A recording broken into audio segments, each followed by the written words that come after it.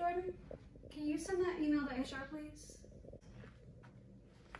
Jordan, Oh, what's up, Jordan? oh, Scarlett. Hey, um, uh, I'm sorry. What do you need? You've been acting strange the last few days. What's going on? Are you okay? There's just uh, a bit of a issue, I guess you could say. Um, I wouldn't say things are good at the moment. I thought things were going great for you. I mean, rich guy, hello? I thought y'all were dating or something. Okay, first of all, rich guy is Jack, which I told you that last time you said rich guy. Second of all, I mean, yeah, we instantly connected. Okay, I've never connected with someone the way that I did him. Instant chemistry, great sex. I mean, everything. He's absolutely perfect. Okay, so what's the problem? I don't see any.